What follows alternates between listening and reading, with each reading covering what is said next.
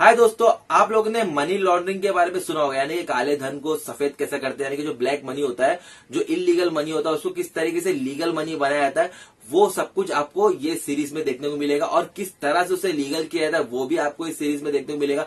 तो बेसिकली इस सीरीज़ का जो कॉन्सेप्ट है, वो है मनी लॉन्ड्रिंग तो अब हम लोग इस सीरीज़ के बारे में बात करेंगे लेकिन इससे पहले मैं आपको बता दूँ कि एक चैनल है, जिसका नाम है राउडी सीन्स उनके चैनल पे आप लोग विज़िट करो। अगर आपको चैनल अच्छा लगता है तो उसे सब्सक्राइब भी कर लेना। और मैंने तो उनको सब्सक्राइब कर चुका अब आपकी बारी आप लोग भी जाइए, उनके चैनल पे विज़िट कीजिए। तो चलिए बात करते हैं इस सीरीज़ की। तो इस सीरीज़ में आपको तकरीबन 10 एपिसोड देखने को मिलते हैं। हर एपिसोड की लगभग 55 मिनट से लेके एक घंटे 20 मिनट की है। यू तो मैं दो सीज़न का रिव्यू करने वाला था इस वीडियो में, लेकिन एक ही सीज़न देख के मुझे ऐसा पर्सनली फील हो रहा है कि भाई, पहले मैं इस वीडियो को देखता हूँ कि इस वीडियो को कितना अप्रिशिएशन मिलता है, कितने व्यूज़ मिलते हैं। उसके बाद मैं इसका सीज़न टू का रिव्यू करूँगा, लेकिन मार्च में आई थिंक इसका सीज़न थ्री भी आ रहा तो हम लोग सीज़न टू और सीज़न थ्री तभी रिव्यू करेंगे तो बेटर होगा। फ़िलहाल मैं आप लोग से इतना ही बोलूँगा, आप सीज़न वन ज़रूर देखता हालाँकि ये सबको पसंद नहीं आएगा, क्योंकि जो इसकी कहानी है, काफ़ी डार्क है। इसमें काफ़ी न्यूडिटी के सीन्स भी है, कुछ एडल्ट सीन्स भी आपको देखने को मिल जाएँगे, लेकिन जो कहानी जो लिखी गई है बहुत ही ज़बरदस्त और लेकिन इस सीरीज़ की कुछ नेगेटिव बात भी है जो मैं आपको इसके एंड में बताऊँगा। खैर, अब इस सीरीज़ की कहानी बता दो कहानी शुरू होती है जेसन बैटमैन से, जिनका इस इस सीरीज़ में नाम है मार्टी बर्ड वो एक फाइनेंशियल एडवाइजर है और उनके कुछ पार्टनर्स भी है। तो वो मिलकर एज अ फाइनेंशियल एडवाइजिंग का जिनका एक बिज़नेस करते हैं, लेकिन एक्चुअल में उनका काम होता है मनी लॉन्ड्रिंग का।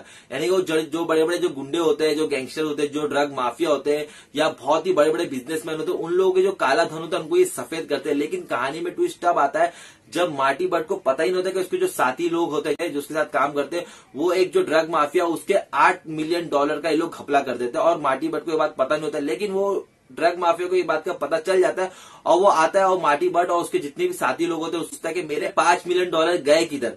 लेकिन असल में आठ मिलियन डॉलर होता है, लेकिन वो सिर्फ़ एक तुक्का चलाता है क्योंकि उसको खुद भी पता नहीं होता कितने डॉलर होता है। तो डर के मारे जो उसके साथी लोग होते हैं, वो बताते थे कि आठ, पाँच मिलियन नहीं, लगभग आठ मिलियन थे जिसका हम लोग ने घपला किया।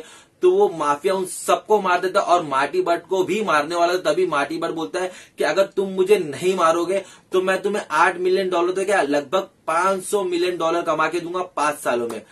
तो वो उसको बोलता, ठीक है, मैं तुम्हें इस शर्त पे छोड़ूँगा कि अगर तुम मुझे 24 घंटे में पहले 8 मिलियन डॉलर ला के दोगे, तब मैं तुम्हें छोड़ दूँगा और तब तुम जाके ओजार्क में जाके जहाँ पर तुम कह रहे हो कि तुम 500 मिलियन डॉलर कमा सकते हो पाँच पाँच सालों में तो मैं तुम्हें वहाँ जाने की इजाज़त दे दूँगा। तब वो कहीं ना कहीं से जुगाड़ करके आठ मिलियन डॉलर लेके आया था। लेकिन इसके बाद क्या कहानी में ट्विस्ट एंड टर्न्स आते हैं, ये सब कुछ जानने के लिए आपको ये सीरीज़ देखनी पड़ेगी, जिसका नाम है ओजार्क। अब देखिए, ओजार्क इस सीरीज़ का नाम इसलिए क्योंकि एक जो जगह है, उसका नाम है ओजार्क।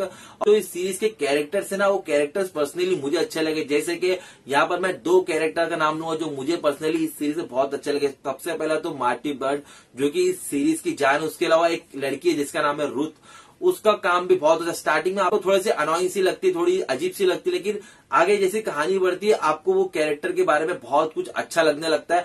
लेकिन यहाँ पर जो एक कैरेक्टर मुझे पर्सनली बहुत बुरा लग रहा था, वो था वेंडी का कैरेक्टर वेंडी यानी कि मार्टी बर्ड की जो वाइफ होती है, उसका नाम होता है वेंडी वेंडी स्टार्टिंग से आपको बता दे कि वो ऐसी वाइफ है जो अपने हस्बैंड पे चीट कर रही है, वो कभी भी अपने हस्बैंड को धोखा दे सकती है। हद तो तब पार हो जाती है जब वो उसका हस्बैंड आठ मिलियन डॉलर जमा करता है तो वो बिना उसको बताए पूरे के पूरे पैसे लेके चंपत होने यानी कि गायब होने के चक्कर में रहती है। लेकिन तभी कहानी में एक और ट्विस्ट आया था तो वो सब कुछ जानने के लिए आप ये सीरीज़ ज़रूर देखना।